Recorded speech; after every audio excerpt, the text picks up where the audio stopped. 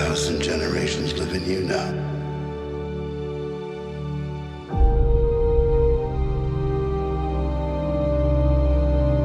but this is your fight.